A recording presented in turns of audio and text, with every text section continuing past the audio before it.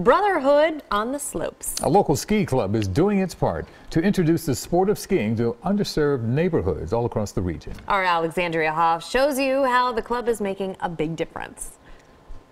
Don't let anybody tell you you can't do things. Joe White's life has been going downhill for 32 years, and that's a really, really good thing. I was never in the service. I wanted to see the world, and skiing took me all over the world. At 80 years old, White is an avid skier and a longtime member of the Blazers Ski Club, which is currently celebrating their 40th season. I was in school and I saw a flyer for skiing, and this was in 68 and I saw the flyer and I convinced one of my buddies to go with me.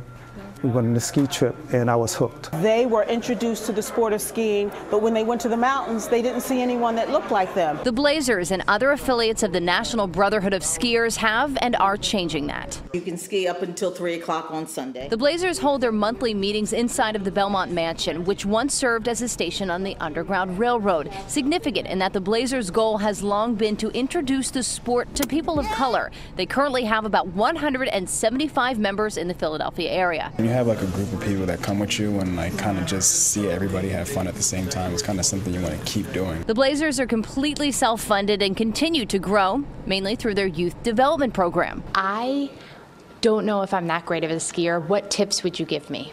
I would give you like don't be scared just to go down one little hill. It is a sport that is all about the journey, and for members who have spent decades on the slopes, the Blazer ski journey has taken them all over the country and world. For me, only high school education, I've been most places in the world. For Joe, that has meant mountains across the mainland U.S., Alaska, Canada, Europe five times, and even New Zealand. We hunt snow, put it that way. Alexandria Hoff, CBS 3 Eyewitness News.